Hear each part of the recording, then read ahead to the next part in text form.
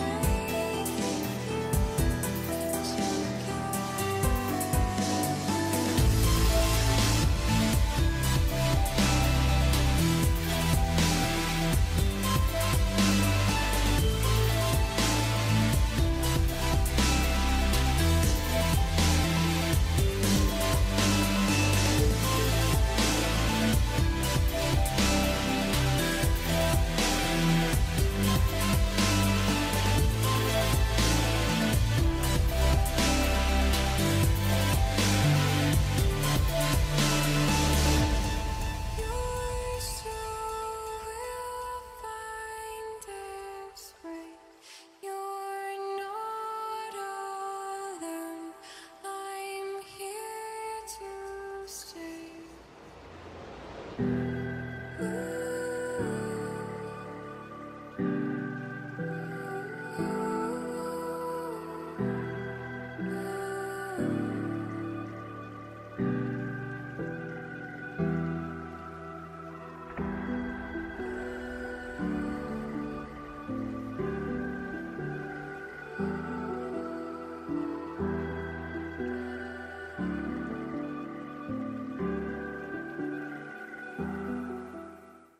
Yeah, so that was a fun project. This is uh, this was a culmination of a lot of different things. The redoing of this whole room, which was hideous when we bought it five years ago, like orange shag carpet. The walls were stained with nicotine stains. The walls were all replastered. Floors were redone.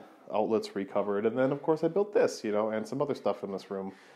And uh, it's it's wonderful. It's a great culminating experience. And she's not sleeping in it right now, of course, because at the time of this video, she's five days old. She's sleeping in a bassinet with us in our room. Um, but she'll she'll love it, I'm sure. So she'll be in there soon enough.